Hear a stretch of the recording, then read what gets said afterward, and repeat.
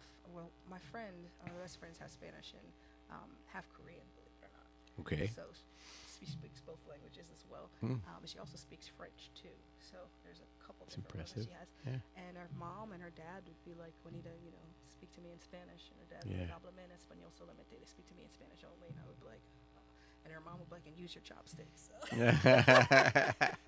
was a Too pretty funny. interesting dynamic. Yeah, we just got back from Mexico. Just spent a week in Mexico, and, and so you know I got to for meet. I got to be a host, and I was like, "Okay, well, really, I like this place. A very American place," but they thought I was so cute, or at least they put up.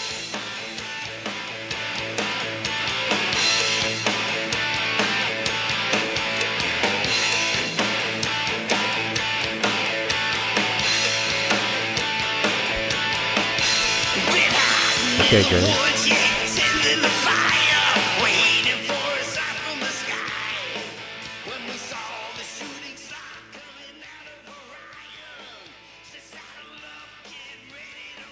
Is that a test, or are we actually on? You're alive. We're we're on the air. What a surprise! what a surprise! But according to Facebook, it says we're on. I don't really hear us in the studio, so you might want to boost that up. But hi, everyone. What is it about six oh eight? We're getting closer and closer to six o'clock every week. It's Monday night, and there we are. You're listening to the 85th installment of the Age Out Angels Radio Hour on www.hamiltonradio.net, Channel 2. Our first show back from vacation, and we're pretty loose here. I'm your host, Greg Rapport. I'm the founder and executive director of Age Out Angels, a 501c3 nonprofit corporation. Age Out Angels provides one to one mentors to vulnerable youth for the purpose of coordinating the care and services that they need to survive. We try to help young people avoid some of the horrible pitfalls that they're likely to face if they don't have a proper safety net. This program is brought to you every week at the same time, courtesy of Doc G, William Saunders, Ruben Rodriguez, and all the fine people here at Hamilton Radio who allow us to use this airtime. Ruben is on the big board tonight. Robin is back with us producing. She missed the last two shows. It's so good to have both of you. As long as Robin's here, I'll take my music home with me when I go. Thank you so much at home for tuning in. We've put together what I hope you will find to be an insightful and compelling view of the child welfare system. So get ready because tonight on the radio hour, Juanita Henry a foster youth educator, is going to tell us what it takes to survive after aging out. You're not going to want to miss that. So stay with us for the full hour tonight, and I promise you'll walk away just a little bit richer for having done so. And stay with Hamilton Radio for the next three hours because after the Age Out Angels radio hour, Dr. Felicia Nace comes in for her hour of a program called The Argument, where she takes a stand on an issue, and you're welcome to call in and agree or disagree. And then Troy Alexander comes in with his show of inspiration. So keep it right here at Hamilton Radio all night long. Now, if you would be so kind, take a moment. If you're listening on Hamilton Radio, open a separate browser on your computer. Find us on Facebook. Go to my name, Greg Rapport, and hit that share button. Or even better, email your whole address book and tell everyone to go to www.hamiltonradio.net channel 2. Please tell everyone in your world what we're talking about tonight because what you're going to hear applies to everyone in every geographic region, especially where you live. What we talk about here needs to be shared. Don't keep this private to yourself. Help us share it. Tell your friends. There's a generation of youth out there who are being forgotten. And caring people like you and me and Juanita Henry cannot sit still while that happens. And while you're doing that, let me remind you that we're here almost every Monday from 6 to 7 with the Age Out Angels Radio Hour. We have a great lineup of guests coming up on May 20th. Sherry Rubel who has a vision to build those tiny houses and use them to house the homeless, will be here in person along with Caitlin Fair from Oaks Integrated Care. May 27th, well, that's Memorial Day, so let's all just take a break that day. There's no show. And we'll be back on June 3rd with, are you ready for this? Representatives from the New Jersey State Library who will tell us what you're missing if you're not accessing your state library in your area. Not talking about your local library now. This and local libraries are great. They're some of my favorite places. I think the library is actually the happiest place on earth. But What I'm talking about here, and what we're going to talk about on on uh, June 3rd, is the state library, and it's and the resources of your state library are just absolutely amazing. The list of incredible guests that we have goes on and on and on and on and on. So be sure to tune in every Monday at 6 p.m. for our unfiltered look at the child welfare system and other related social services. And this is where you come to get the whole truth. And I promise, what you will hear tonight cannot be found on the nightly news. And since we're live, you can play along with us if you like. You can call in during the show, you can write in during the show, you can just sit back and listen, or you can be as much of part of the show as you want to be. You know, you can write to me in the comments field on Facebook. Uh, you can call in and be part of the conversation. The number is 609 807 2492. That's the call in number. Okay, down to business. Just got back from Mexico. Hey, hey and it was very very interesting um, kind of journey that i would like to um, talk about more at the end of the show actually because i want to get to our guest.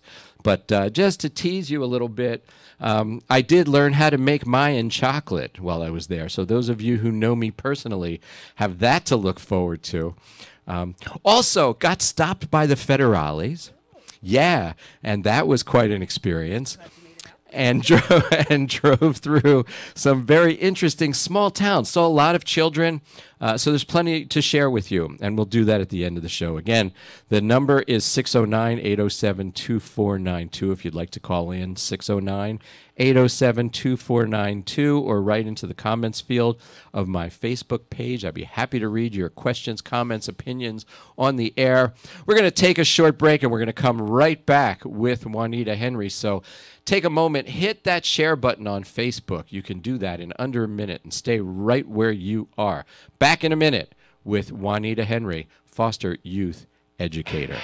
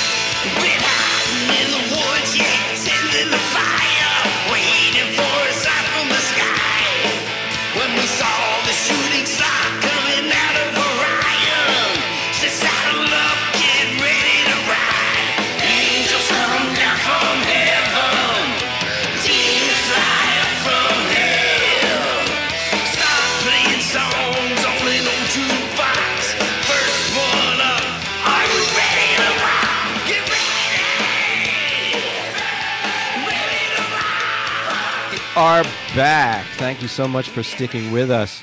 Um, you take the good, you take the bad, you take the both, and then you have The facts of life. the, fa- the, facts facts of of life. Juanita Henry is my guest. Uh, Juanita, you've been working with young people for how many years? Oh goodness, twenty. Okay, so if you're watching this on Facebook, you are looking at Juanita, and there's no way you believe that she's been doing this for 20 years. I told her before the show that if she asked me for a beer, I would card her. Um, but but actually, you've been do- you have a master's degree, right? Yes. In Oh, my master's degree is in social work from from Rutgers. Are you? from Rutgers University, okay? And uh, and you are actively involved in Oh, I'm actively involved in working with youth in foster care as well as doing therapy for Perform Care in New Jersey. okay. And what age groups do you work with? Oh goodness, I go from age three all the way up to about 21 um, through Perform Care and 26 outside of Perform Care. And and were you was foster care always sort of a specialty area for you? Yes, I've always loved it. Um, disadvantaged youth, youth who are at risk, just you know, pull at the heartstrings, and I feel like they need more of us to kind of help them out and let them know that there are resources available so they can become successful. Mm-hmm. And and like what? Uh, by the way, I just want to talk to the booth for one second. If you can boost Juanita's mic just a little bit, we'd appreciate that in here. And um, so, um, what was what was your because you didn't grow up in foster care? Nope. That was not part of your life. No. Um, so w- when did you become aware? I want to say I, I think just growing up and growing up in areas that were impoverished and seeing it around us, you know, you always have active DCP&P cases and family members or uh, neighbors who might have experienced domestic violence or some form of harm. And um, I remember one day just walking um, down the street and just seeing poverty, you know, uh, homeless people. And that has always been a population that I've always really wanted to work with. And I wanted to make the world better. When you see something, do something. Mm, As well, that's a very good point of view to have.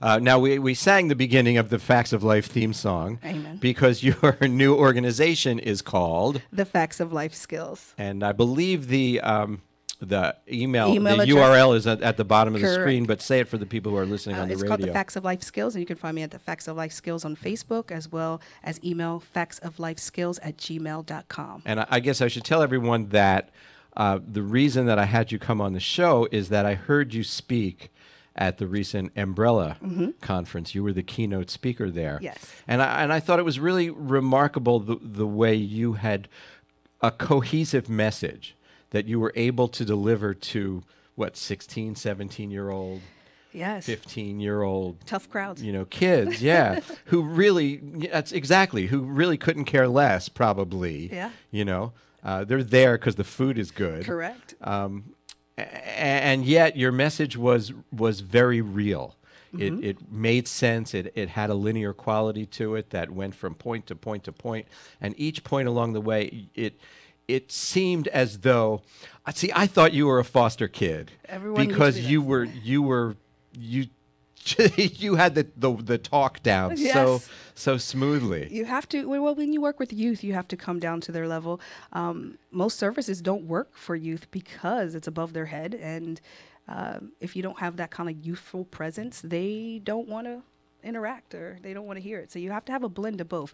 You have to come down to their level in order for them to come up to yours. You really seem to seem to understand them in a big way. So, so when you do your presentation, you start by talking about relationships. Ooh, Right. everyone loves that one. It's a difficult one. So, well, you know, because what happens, we mentor children, right? Uh-huh. And they need us, need us, need us, need us. Then they get a boyfriend or a girlfriend, Yeah, right? And, and then, then- they don't need us at all. Oh, then they break up, and and then, then they not only do they need us, but we're supposed to hate that other person, right? Because they were such an idiot, Absolutely. right? So, but you talk about relationships. Okay, with relationships, I usually just like to start off with just a couple facts. This is a really great organization. If you guys get a chance, it's called loveisrespect.org. And they have some really great statistics about domestic violence. Um, one of them is nearly 1.5 million um, high school students nationwide experience physical abuse from dating a partner in a single year. One in three adolescents in the U.S. is a victim of physical, sexual, emotional, or verbal abuse. Um, one in 10 high school students has been purposely hit, slapped, or physically hurt by a boyfriend or a girlfriend. So when we really think about those numbers, it's pretty scary um, to realize that our youth are being injured while they are dating. Something that should be fun and something that should be light um, becomes something dangerous and something dark. And I believe it's because a lot of times they don't know how to date. They don't know how to be involved in a healthy relationship. But it's not just youth, it's even us as adults struggle with being in healthy relationships. So, what I did was kind of just break down a couple of uh, important points that I wanted them to make sure that their relationships had when they were dating. Um, the very first one, of course, is mutual respect. Having respect. I think a lot of times we think about respect or we demand respect, but somewhere along the lines we stop forcing that and we allow people to start walking all over us. especially in inside the relationship Yes, right i mean people exactly. people do a lot of, of boastful outside Correct. of the relationship put on a good show of how Yes, tough they. Mm-hmm. are and everything else but then inside the relationship Oh, it can be a, a mess. It can be a mess. Even in marriages, you you know, people can have a really great relationship, but technically they're sleeping in separate bedrooms, and you don't know that. But on the outside, it looks really beautiful. yeah you know? yeah. but respect is I always want the youth to understand that it's making sure that people are listening to you. I say it's about boundaries. Respect is truly about boundaries. Making sure that someone is not crossing those boundaries. Making sure that you're feeling safe. Um, if you're not feeling safe then run. You know that safety looks like is someone being honest? Are they being tr- are they trustworthy? I Mm-hmm. Think a lot of times people give people too many chances absolutely And I always say, how many flags has to equal a stop sign? Yeah, before you kind of yeah. go off the cliff. Right. You know, a lot of times people will lie to you, they will hurt you, they will cheat on you, but they just keep going with the same person. And I think a lot of it has to do with maybe fear of being alone, uh, maybe fear of failure at the relationship, or it's just the fact that they don't have self love. And someone once told me, um, a really great therapist by the name of Darlene Dalton, she's my mentor, uh, once told me that who you date is a direct reflection of how you feel about yourself.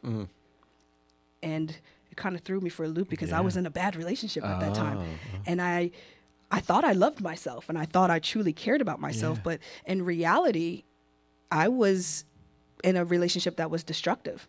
And I think a lot of times when we're thinking about youth in foster care and self-injurious behaviors, Sure. we think about cutting, um, burning, uh, taking pills. Uh-huh. But relationships can also be destructive. Yeah. You can be involved in a relationship that will take your joy and rob your, uh, you know, your destiny from you, Yeah. just by taking you off your path or by beating you down and, and killing your ability to be successful.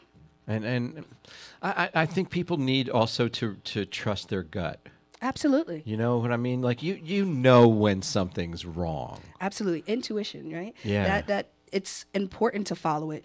If it doesn't feel right, it's usually not right. Right. And we're not talking about the fear aspect because sometimes we get nervous, sometimes we're scared, but you can tell by how a person, you know, the way a person makes you feel.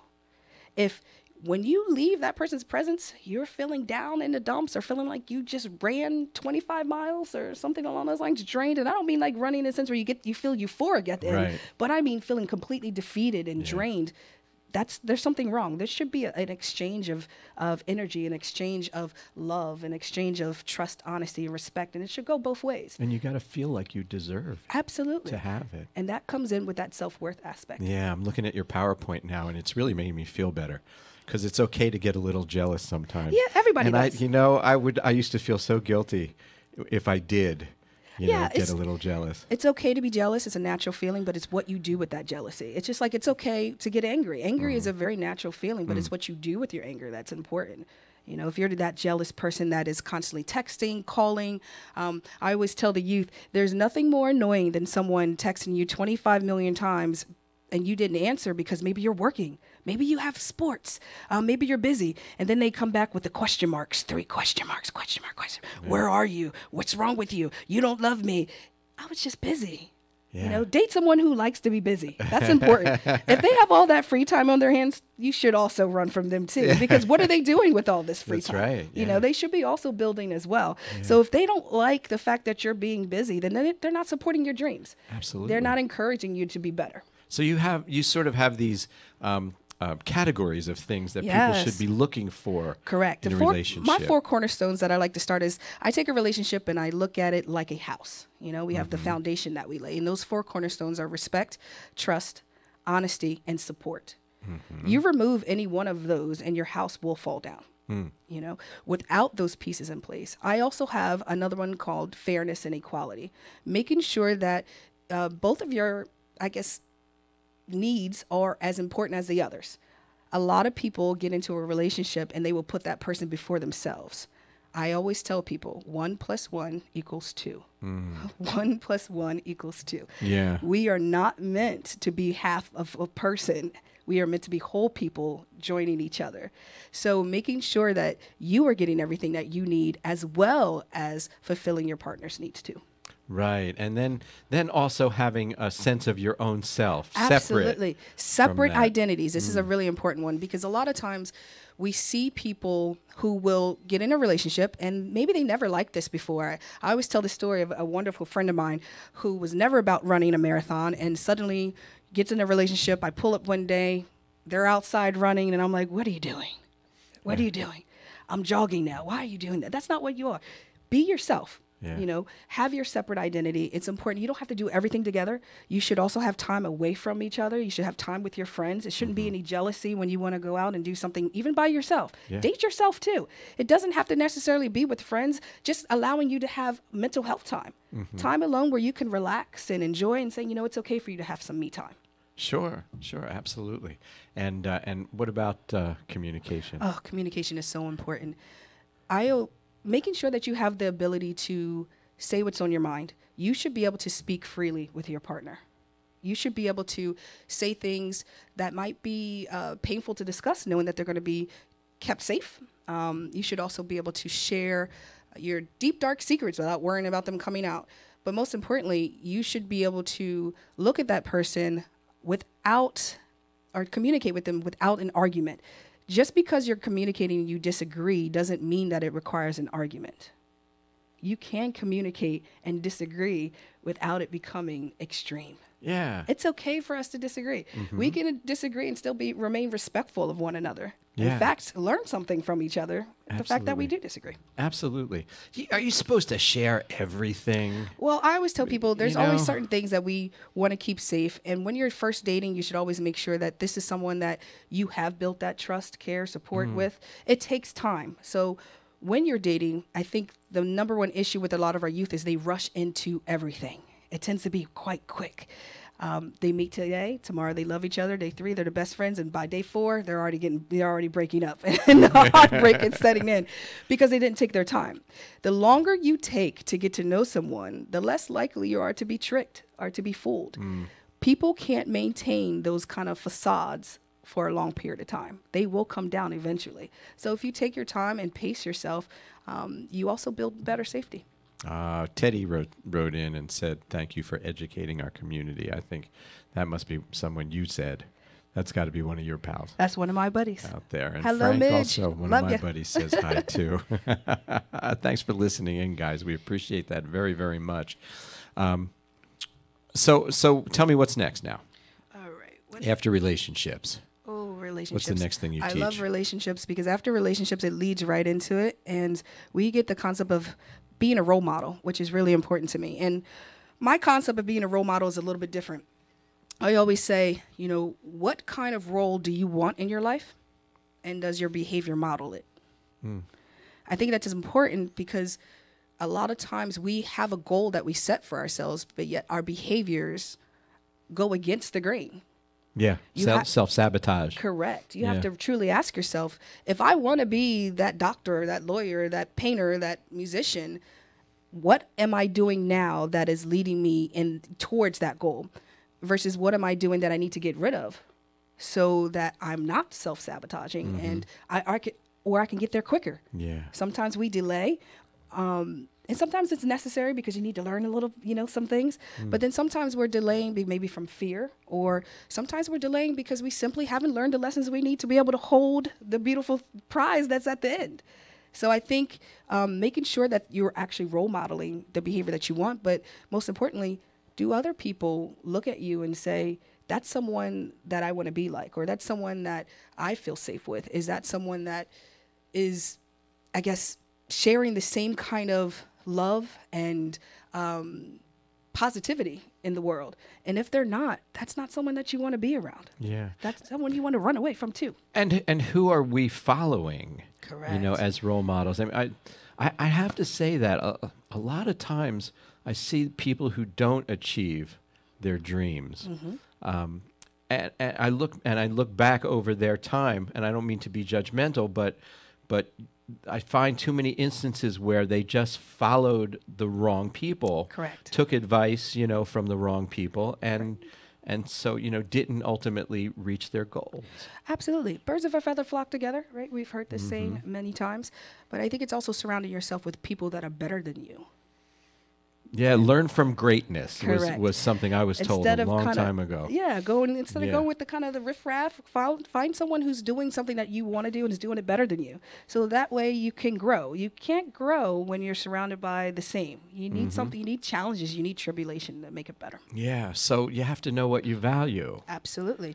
And what you value will also determine your behaviors. If I value, um, like I said, positivity, then hopefully I'm going to put positivity out there in the world. Mm-hmm. If I value drugs, if most likely if that's something that's important to me then expect a negative you know return i guess on mm-hmm. what i put out um, so i think knowing that the more you know yourself the more you're able to interact in a relationship, mm. socially with people, mm. career wise. You have to know exactly what's important to you. Yeah. And that takes some self reflection to be able to do. Well, okay, so let's rest on drugs and alcohol for just a moment Mm-hmm. because I, I'm sure in your work, and I know in mine, Mm-hmm. you know, we, we meet up with a lot of people who have suffered some pretty serious trauma. Absolutely. right? And you you can almost look at them and say, you know, I kind of understand the need to self anesthetize, right? Self medicate. Absolutely. Yeah. Um.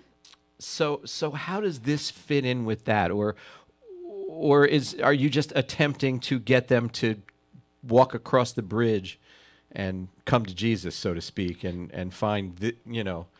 this all comes together because when it comes to drugs and alcohol, we're usually feeling some type of void.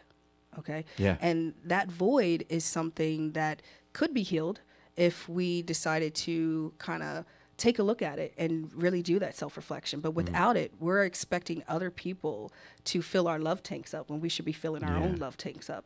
And that takes time and that takes uh, some therapy and that takes some support. But without it, you just keep running around in circles and you don't get anywhere. So, therefore, that destination, those goals that you want to Yeah, obtain, yeah. you don't get there. Yeah, I mean, I, let's not pretend I didn't grow up in the '60s, okay? um, but uh, uh, the whole point was that you know marijuana in those days was um, m- that made it acceptable to not do anything. You know, like what did you do tonight? Well, we went to this guy's house. We got high. What did you do? Well, first we got high, and then we walked down. and We got high, and then we did this or that, whatever it happened to be. It made it acceptable to not do anything, Right. Because you were doing something, Correct. right? You were, But you, know, weren't doing high. anything productive, maybe. se. But that's different. right. You know, that's that's sort of you know stupid kids acting recreationally. Mm-hmm. That's different from having a hole in your heart. Absolutely. And that hole can literally continue to grow. And it's almost like a virus that spreads out and it affects all areas. Hence why drug and alcoholism um, affects your relationships, your career, um, your self esteem, family. It spreads out pretty Yeah. quickly if you don't contain it and Yeah. get So help with it. so you take a kid who's who's sort of in the foster care system, right, and Mm-hmm. and may have suffered some various forms of abuse, sexual or or neglect or all the things that get you into the foster care system then Mm-hmm. compound that trauma by yanking them out of the environment that Yep. may we look at as horrible but they knew as as Their home. norm. Right, right, Mm-hmm. right, right. And then possibly add on top of that maybe a gender issue or two. Correct. Right, to go along with teenage angst. Mm-hmm. Um, you know, all happening at the same time. Um, and possibly remove them from a home and they go into a home that was even worse than the home they just left. that they just left, or they get into a fight and then they get kicked out of Yeah. Mm-hmm. it from that and sent to another place. How, do you deal with? Do you find that you meeting kids who are just like ready? Their heads are ready to explode. Absolutely. And they have lost faith in the system. And I don't think you can blame them because a lot of times the way that they are removed or the way that the system is set up can be traumatic to them. Yeah. Um, I, we think about all the youth who are removed and have to pack up immediately and they're, they're living in trash bags or from trash bags. You know, Mm-hmm. they don't even have a suitcase. They didn't even get time to pack, didn't get a chance to say hello. Yeah. I mean, or say goodbye. We understand that to be very traumatic. Or how many times have we heard of youth being removed from a home due to abuse, but then they're forced to have visits with this person and to have visitation Hmm. and to see them because it's court ordered. It's it's it happens quite often. Yeah, I mean, it's generally accepted to be wrong not to. Right. Right. I mean, that's uh, Or- considered a failure of the system. If Yeah, we're seeing it right now all over the news where youth were there's no distinction made for kids who were sexually abused by. You would think, but uh, they have different therapies and things of that nature that they go into. but a lot yeah. of times, um, these youth who are removed from their homes, a lot of times also still crave and want to go back too Mm, and yeah, want to yeah, interact yeah, with people. yeah. But when they are, or if it's unsubstantiated, right, and it's Mm-hmm. not found, they then return back to these homes, and many times then they're subjected to it again, and it happens, and then maybe the second time it's Yeah. found it.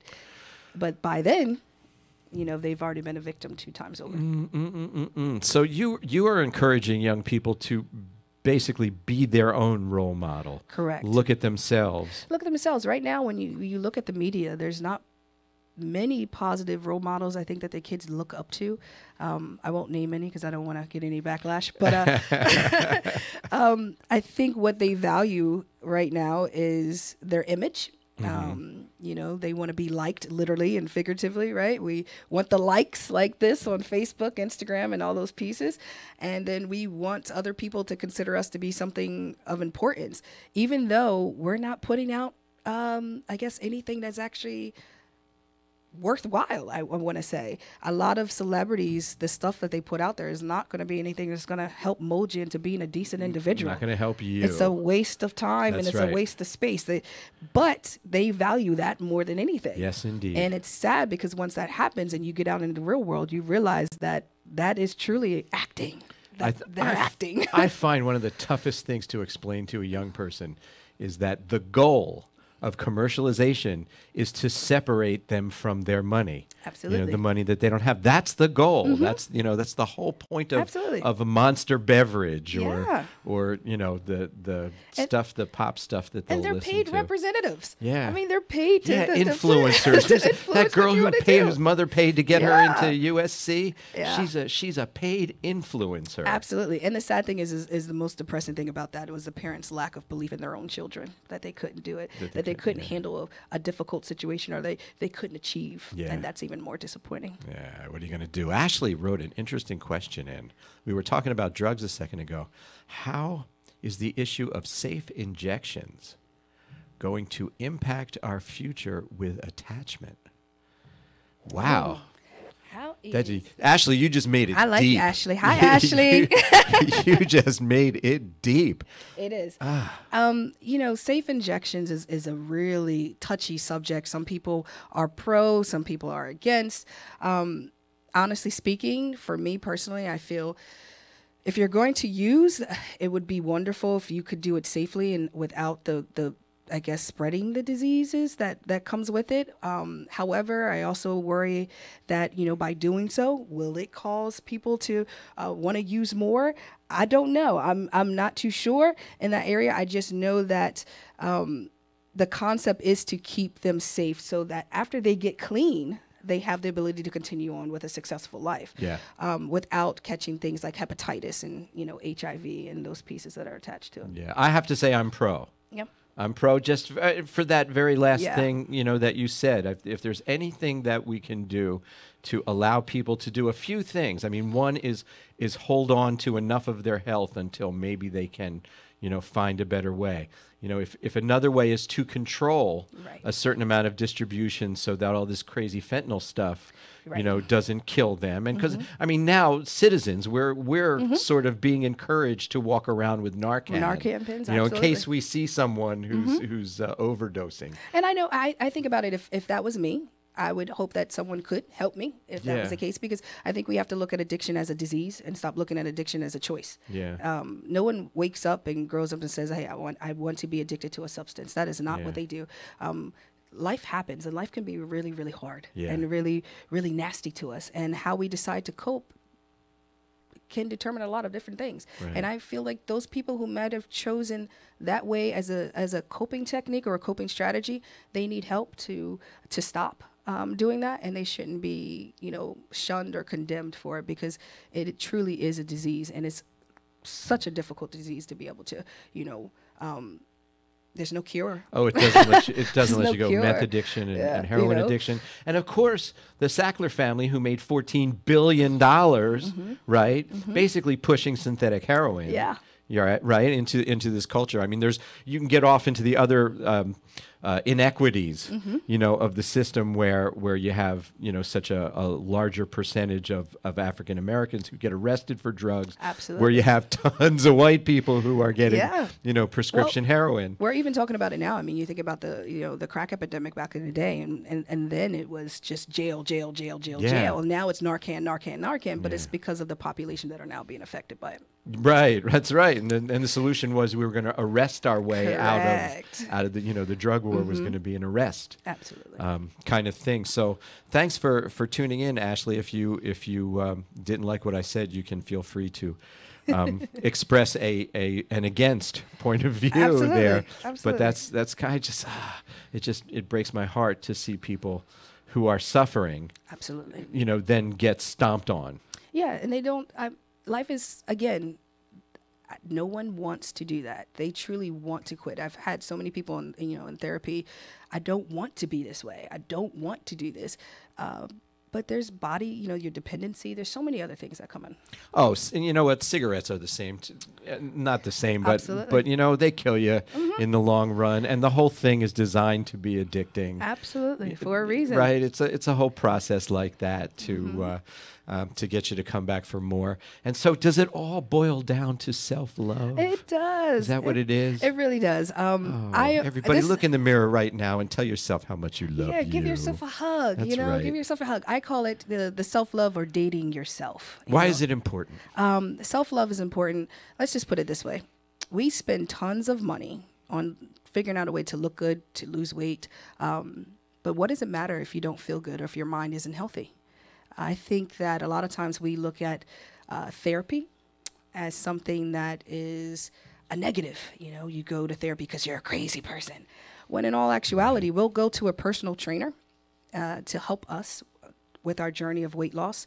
They don't do the work themselves. I wish I could lose weight by watching my trainer work out. I would be super skinny. Um, but what happens is we go uh, and they give us motivation or they give us the correct tools. You should lift weights this way because if you do, you'll get uh, better results, quicker results. Absolutely. It is no different than going to a therapist we are i consider myself like a personal trainer for the mind when i'm doing therapy i'm just trying to help people reach their goals uh, in a better way and to for it to be more effective and with the motivation that they need and the accountability that they need as well. Yeah. You know, your your personal trainer probably call you and say you missed three days in a row. Where were you? Did you eat that cupcake last night when- you left the gym? Same thing with us. You said you wanted this goal to be achieved, but yet we're five weeks in and we're still here. Yeah. You know, let's let's take a look at that. What do you think some of the you know what's hindering you here? And then we make adjustments so Mm-hmm. that your mind can become healthy. So that's a process of self love. That's a process of self care. And there's no shame in that. In fact, I think we need to look at it as no different than anything else we do for ourselves. If you eat healthy, why can't we use therapy as a means just to keep our minds healthy? Mind healthy. I go just for the sake of going because I like going. Absolutely. It's something that's important for me. And it doesn't have to be because something's wrong. I might be having a great time in my life and really enjoying things, but you know what? It's my hour to share what I want to share. And maybe I, I need some advice, or maybe I just need a vent session, or maybe I'm really struggling with an issue. It's something that we should really look at as a normal thing Right. that you do with your normal regular checkups. You go get your physical, you go to the dentist twice uh, twice a year, you know, the GYN, you name it, we go to it. But why don't we go Take care and get take care of your mind? Absolutely. And I can think of a hundred like reasons that aren't crisis situations. Like for example, uh, the, the kids that I work with, if you're if you're the first person in your family to go to college. Oh, I was, yeah. Right? Okay, so you're the first person in your family to go to and maybe it's like sometimes these kids will get lucky and they'll get a scholarship, but now they're going away Yeah. right? So here they're fish out of water Mm-hmm. completely. They they haven't experienced a lot of the things outside of the hood that Yeah. um, the other kids have experienced. And at the same time, I noticed that a lot of the time in the urban setting, when the kids go away to college, they feel guilty as though they're abandoning the little brother and sister. Absolutely. Right? Some that they may have really taken care of Mm-hmm. every day after school for 10 years or something like that. And so they feel like they're abandoning their family. All these feelings are running through their bodies. And it's not necessarily a horrible crisis, but you can get therapy on a college campus for free. For free. They're there. For free. Absolutely. They're Mm-hmm. there. I mean, go. you know, take advantage of it. I actually just um, completed a contract with a school in a local area for that exact reason, helping youth who are coming from, um, you know, an impoverished area into a really, really nice school setting. We, I guess we should say that uh, where they don't have faces that look like them. Let's Right. say, you know, Right. and how do you help them assimilate and adapt Yeah. Mm-hmm. and overcome those challenges? It can be very f- scary for them. They are Sure. there's there's fear there. I know when I go and I, I work with some of my youth, and they look at Starbucks like Starbucks is the Shangri La of I don't know something magical and amazing, and they shouldn't go in there. And I'm like, it's just coffee. Come on, come see for yourself. Check it out. And they walk in, they're like, that's it. I'm like, that's all Starbucks is. all it is. But if they're you know if they're not exposed to that Yeah. culturally, then it is very much a shock because as African American children, we have to assimilate into white culture. It's very different. The, it doesn't. We are not the, the the majority in that Right. setting. We are a minority. Yeah. So with that happening, it could be uh, many many different challenges.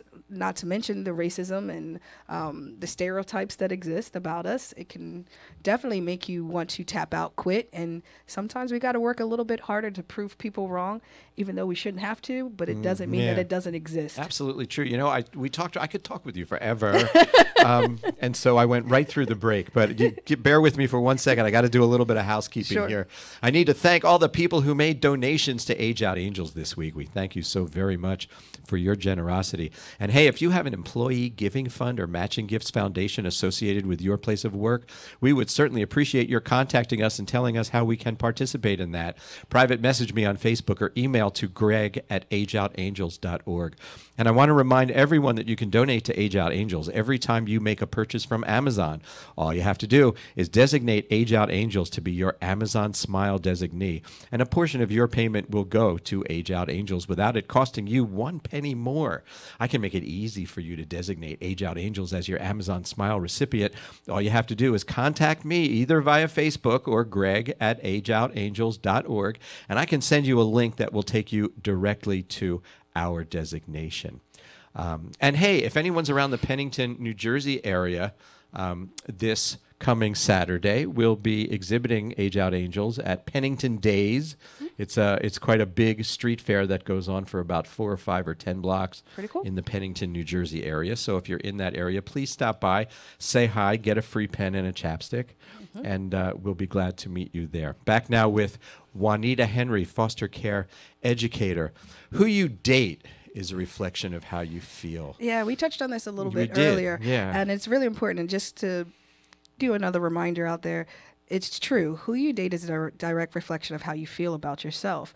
Um, if you're dating someone who is abusive, who is, um, you know, uh, hurtful in some kind of way, and we remain there, it's usually because we feel that maybe we deserve it or we're, we're not. Um, and sometimes, too, it's just difficulty leaving the situation as well. But I think it's also we feel that we maybe can't get better or we don't you know deserve better but we do Yeah. you know so taking a look at that and really saying to yourself you can only treat me the way I allow you to treat me. That's really what that comes into. You can't get away with this unless I allow you to get away with it. If I allow you to cheat on me five different times and I keep going back five different times, at this point in time, now, um, who should I be blaming? I really should be taking a look at myself.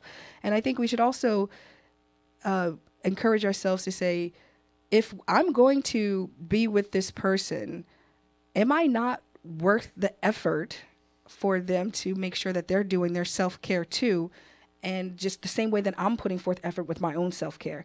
But that's something that you can't force on someone else. They have to want to take care of themselves for themselves. Hence mm-hmm. why the one plus one makes two. Yeah. And if you aren't in that healthy relationship and they become unhealthy, then that's where they have maybe that love for you and that love for themselves first Yeah. to make sure that they want to get the help to, to correct it and to make it better. Is it that important to enjoy the time when you're alone? Oh, I love being alone. Yes, it's important to enjoy the time when you're alone. I always tell people, if you don't like yourself when you're alone, why why should someone else? If you don't enjoy you, why should I enjoy you? You know, the first time I ever thought about this, I was in college, and a girl was telling me about places she traveled to alone, mm-hmm. right?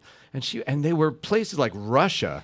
Beautiful. You know, I was like, "Whoa! How do you, how do you, how do you do that? You know, how do you travel travel to Russia or Madagascar or something like that alone? Yeah. You know, how does a person do that? I have an amazing friend who does it. Uh, she travels all the time by herself, and it's amazing what she's able to do, and the confidence that it takes. Yeah. Um, the uh, just the even just saving for it the fact that you're planning this the fact that you're setting these things up for your own self-care for your your even if nobody else wants to go how many times have people wanted to go somewhere but then people cancel last minute oh, oh, oh i'm not going to go I'm not going to go. Right. why If you're not going, I'm not going. go. If you want to go, you can go. You might meet people there. Yeah. And I know there's been plenty of places that I've gone by myself, and next thing you know, I have new friends. You mm. know, and and it's an enjoyable time. But we really should have that time alone to reflect. Our thoughts go so fast throughout the day, and a lot of times we don't even get a chance to stop and take a break to even hear them. You know, that's why I'm a firm um, believer in meditation, prayer, something where you can take time to really hear your inner thoughts, hear your inner dialogue, because what you think is what you will do and become. I see. So so now you we go into this portion of your presentation called tribulation. I like this one. What what does that mean? Oh, the difficult times, uh, the Oh. difficulties. What I've learned uh, with youth in foster care, and just with people in general, honestly, is we expect maybe life to be butterflies and popcorn and dandies. You know, we all want that. And then when life gets really, really hard, we face shattering. And that shattering can come again in the form of maybe addictions or in the form of I don't I no longer want to exist. Depressions and anxieties start to form. Mm-hmm. Um, I want people to start looking at tribulation as a part of the growing process. Even when you think about a plant, right? And you take a plant and you, you put it in a pot and you put it in the soil and you water it and it's growing, eventually it outgrows that pot and it has to be uprooted, removed, and replanted. You know, that process might be painful. However, once it's re- uh, replanted, it can continue to grow and thrive and get even bigger Yeah. and taller. So, looking at tribulation and understanding that there will be challenges. Don't, I, I think we should stop teaching our youth that um, it's all going to be okay. They, because sometimes it's not. Right. Sometimes life really knocks you down and you don't know how to even stand. If you can't stand, and I say, can you crawl? And if you can't crawl, you need to stand still for a little bit. Hopefully, we have some some support systems around to come around you and say, okay, we'll sit with you until you're ready to keep you safe until we get yeah. there. And sometimes it's just okay just to be still. My mother used to, my friends call me road runner. By the way, I go 100 miles an hour in many different directions. Uh-huh. And my mother used to always say, you know, uh, you have to be still. You have to be still. You have to be still. I had no time to be still Not in your nature. out out of my nature. I used to be so uncomfortable with it. Um, now I find it absolutely relaxing. I like to be able to just sit with my thoughts and with myself because it's, there's that's how I learn, right? And Uh-huh. Yeah, that's a way to yeah. manage the conflict and the stress that comes with life. Absolutely. So, but you know, when you start a relationship, man, the bombs go off, the firecrackers are in the sky, and and that can't last. No, infatuation always fades. It definitely Yeah. fades. But here's the thing too. Dragging it out gives you an ability to kind of make it last longer. You can play with time in a sense. And what I mean by that is as we go into the couple of the other sections about being present, the more present you are, you have will allow you to actually slow down time watching paying attention looking at that person or just us right here engaging right now um, gives us an ability to kind of be in the moment and enjoy this right here without thinking about all the other things that are going on. Right. and it's more enjoyable. So having that time is also going to be important. And fear is good. fear is good. Fear helps you grow. Fear is a natural reaction. Fear is a warning sign you know it lets you know danger danger danger.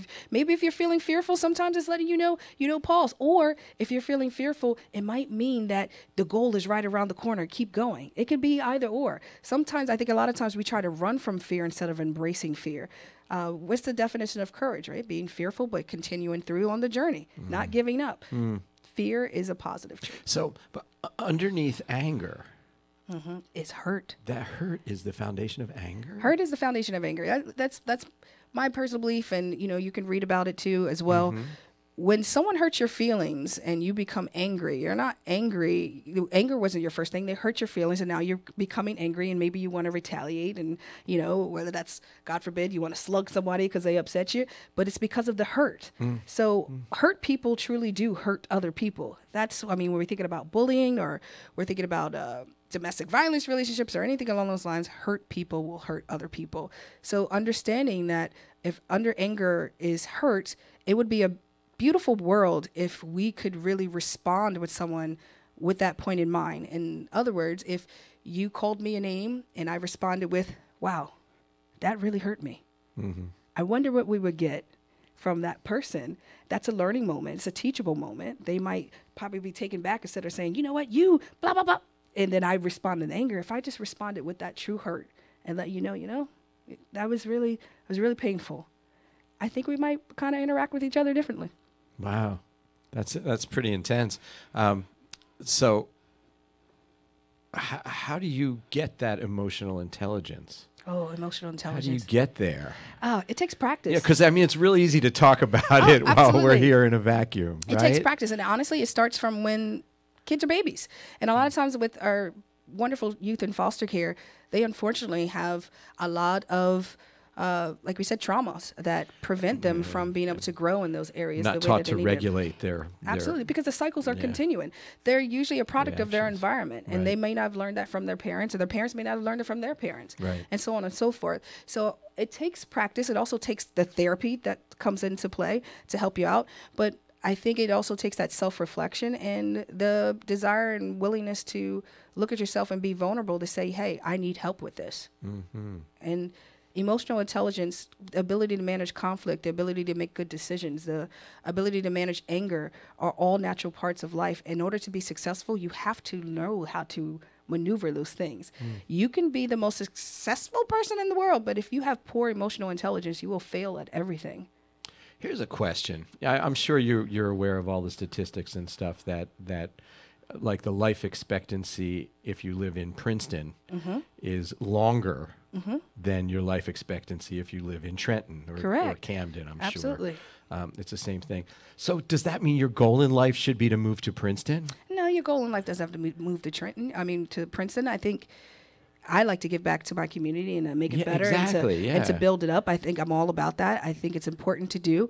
Uh, if you learned how to do it, come back, reach back in the community, and and help others do it. That's why I'm so passionate about helping the youth. Something you know, traumas that I experienced growing up as well, um, from being impoverished. You get to learn from them and come back and say, you know what these are the mistakes that I made, but let me show you how to correct them, make them better, so that you can be successful. How much success do you have in, in actually helping uh, people do that, like see down the road? Oh, it's it's quite amazing. Um, it actually works really well, especially with youth. You'd be amazed. I've many times when I've had parents and they've gone to many different therapists to to uh, help their youth, but they aren't teaching emotional intelligence. A lot of times, it's also I do therapy in motion, so mine is a little bit different.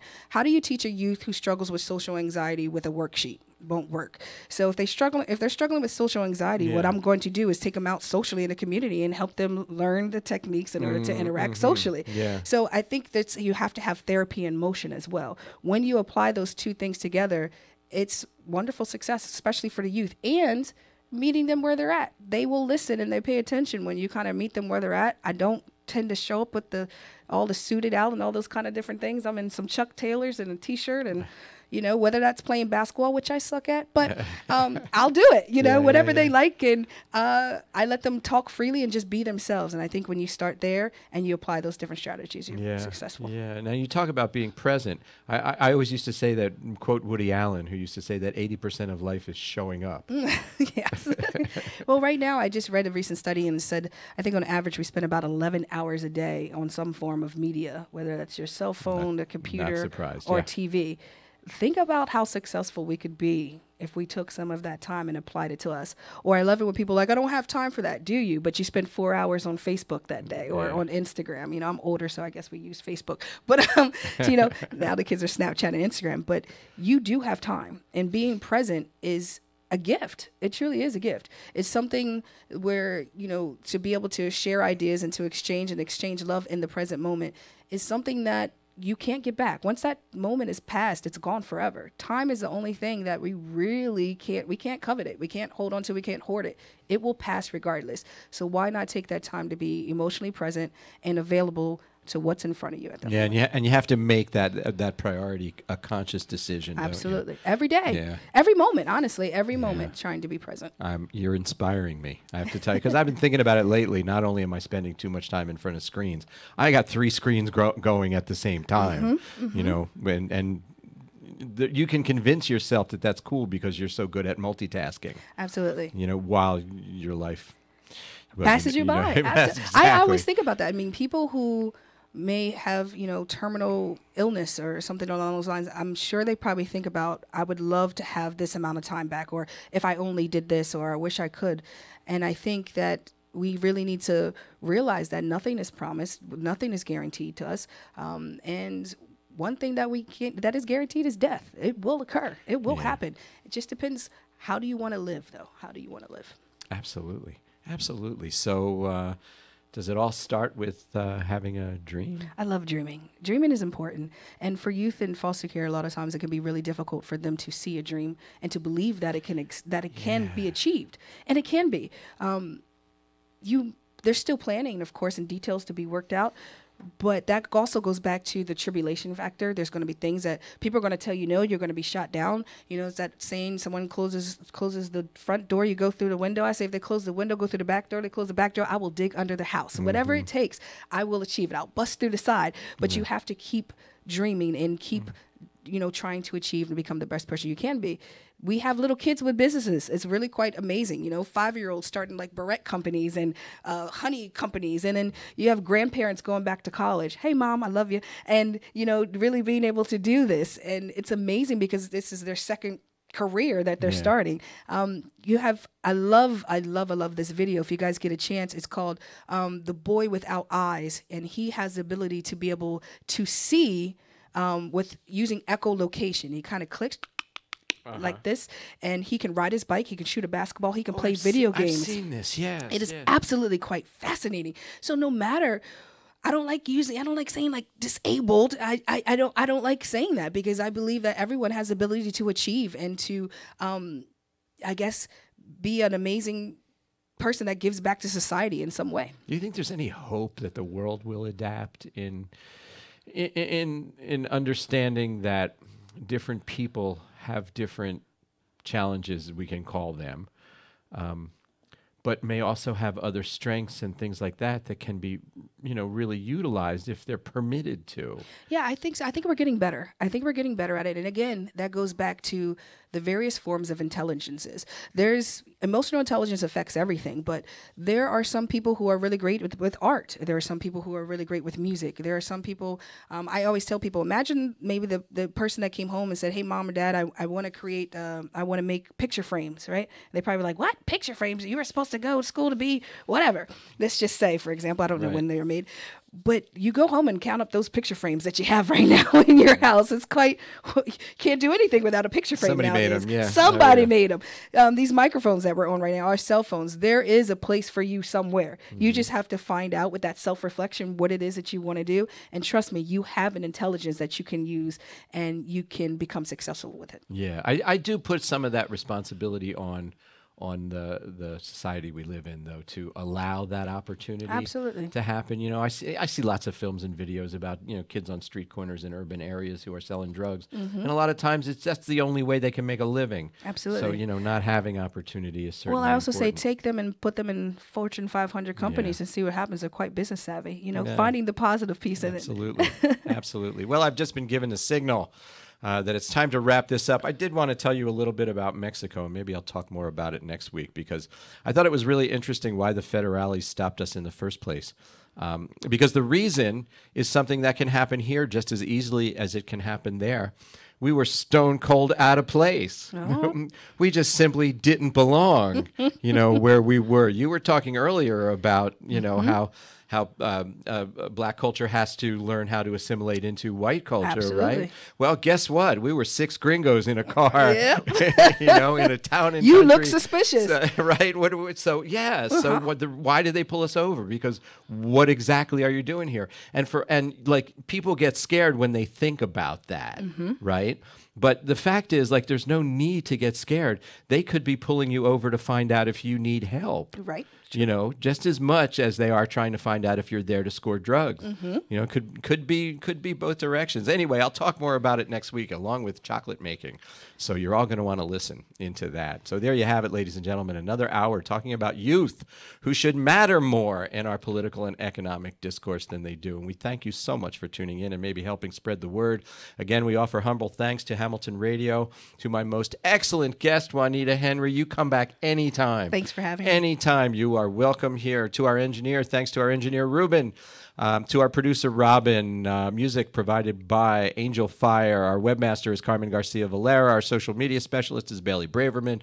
Join me next week, May 20th. Sherry Rubel will be here and Caitlin Fair will be here. Stay tuned for Dr. Nace until next week. Let's make this week the best week ever. Have a great evening, everyone. Take care. Good evening and welcome to HamiltonRadio.net. I am Dr. Nace. That was Pretty awesome. Age Out Thanks for having me. Angels. Of course, all my friends are on there losing their minds. Oh, yeah? yeah, I had Okay, that was Age Out Angels. And thank you so much for that introduction. So, my name is uh, Dr. Nace. This is HamiltonRadio.net. You're here listening to the argument this evening. I have a very special guest coming on with me tonight, and we're going to talk about ethnic matching. And if you don't know what that is, Dr.